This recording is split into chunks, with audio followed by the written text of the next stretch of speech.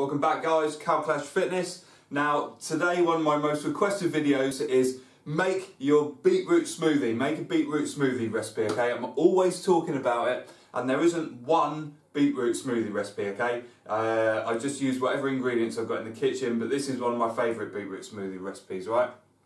So what we're going to be putting in is blueberries, raspberries, an apple, and obviously a pack. This is organic, cooked in their own juice beets, okay? As I've said before, I do prefer uh, fresh beets, however, quite difficult to get hold of sometimes locally, so uh, going for going for cooked, vacuum packed in their own juice beets is perfectly fine for me, okay?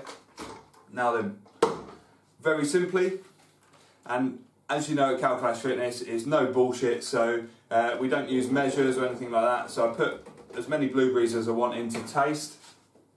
Again, the same with the raspberries. In they go. Put my apples in. And if you've got a good blender, guys, you shouldn't even need to chop these beets up. You can just stick them in whole. I've had some blenders where I've had to chop the beets up. This is a very good blender, so it'll handle this no problem. And then what I do, I lubricate it a little bit with, with any juice to your taste. I find pineapple juice is good, apple juice is good. At the minute I'm using apple, beetroot and blackcurrant juice, okay? And I'll shove that in. Now, a good rule of thumb that I use for, for the beetroot smoothie is I say, it's not always the same ingredients, but what I do like to do is keep colours the same, right? So I try and use things that are mainly sort of a, a dark reddy, um, reddy blue colour, okay? So the blueberries, the raspberries, um, the beets, they all, they're all that reddy colour, okay? Maybe that's a little bit obsessive, but that's what I like to do. And then I just like thicken it up a little bit with the apple as well. you can add kiwi, you can add uh, strawberries, you can add pretty much whatever you want. Um, you add it to taste. We don't like to go through specific ingredients. You have to add 30 grams of this, 50 grams of that, whatever. Add it to taste. Experiment, play about. We're not sheep, uh, so you can do pretty much whatever you want. It's your taste, your taste buds. Everyone's different. Um, not everyone's going to want a giant smoothie like this. Maybe you don't want a whole pack of beets, maybe you just want um, half a pack of beets or something like that. But the beets are very high in nitrates, okay, so they're very good at oxygenating your blood, um, regulating your blood pressure, and just generally making you feel amazing, okay?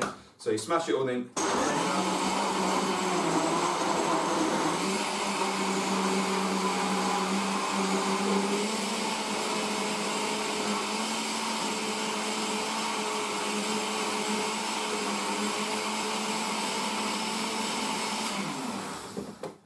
And voila absolutely delicious. Mm. beet beet smoothie. Now you always know if it's the morning or the evening because in the morning I'll always have a red moustache and in the evening I'll always have a green one because that's when I have my green smoothie. Okay guys you requested it you got it anything else requests, leave it in the comments down below. Anything else in the comments down below? Like, subscribe, share on social media. You know what to do. Let's keep it rolling.